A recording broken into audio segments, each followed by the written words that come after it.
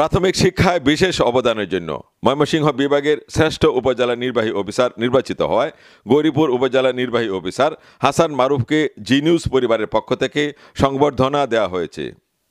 বিশ ডিসেম্বর মঙ্গলবার রাতে গৌরীপুর পৌর শহরের নেক্সাস রেস্টুরেন্টে জি নিউজের পরিচালক ফারুক আহমেদের সভাপতিত্বে সাংবাদিক আরিফ আহমদের সঞ্চালনায় সংবর্ধনা অনুষ্ঠানে গৌরীপুরে কর্মরত প্রিন্ট ও ইলেকট্রনিক্স মিডিয়ার সাংবাদিকগণ, ইউনু হাসান মারুফকে ফুলেল শুভেচ্ছা ও সম্মাননা স্মারক প্রদানের মাধ্যমে সংবর্ধিত করা হয়। ইউনো হাসান মারুফ তার বক্তব্যে বলেন, মানসম্মত প্রাথমিক শিক্ষা, জাতির ভবিষ্যৎ গঠন ও উন্নয়নের জন্য অপরিহার্য প্রাথমিক শিক্ষাই হলো শিক্ষা ব্যবস্থার বীজ। প্রাথমিক শিক্ষা শিক্ষার্থীকে ভবিষ্যৎ সমাজের একজন স্বনির্ভর ও দায়িত্ববান নাগরিক হিসাবে গড়ে তোলে। অনুষ্ঠানে বক্তব্য রাখেন প্রেস ক্লাবের সাবেক সভাপতি ব্যাগ ফারুক আহমেদ, শফিকুল ইসলাম মিন্টু, প্রেস ক্লাবের নবনির্বাচিত সভাপতি ইকবাল হোসেন জুয়েল।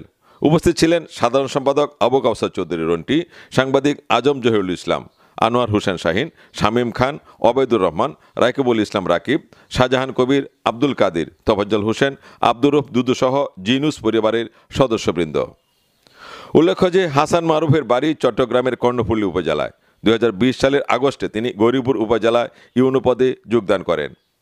প্রাথমিক শিক্ষায় বিশেষ অবদানের স্বীকৃতিস্বরূপ চলতি বছর উপজেলা ও জেলায় শ্রেষ্ঠত্বের পর গত দশ অক্টোবর ময়মনসিংহ বিভাগেরও শ্রেষ্ঠ ইউনো নির্বাচিত হন তিনি।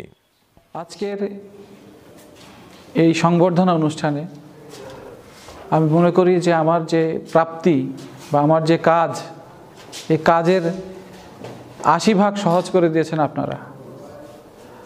আপনারা যারা রয়েছেন আমার সামনে, আমার পাশে, আশেপাশে, তা সবসময় আমার সাথে ছিলেন বলেই এই কাজ কিন্তু সত্তর ভাগ, আশি ভাগ সফল মানে সহজ হয়েছে এবং সফল হয়েছে। কারণ প্রতিটা, আমার প্রতিটা ইভেন্ট প্রতিটা নিউজই কিন্তু আপনারা কাভার করেছেন। সেটা কোনো না কমপক্ষে পাঁচ থেকে ছয়টি বা আটটি পেপারে এসেছে প্রতিদিন।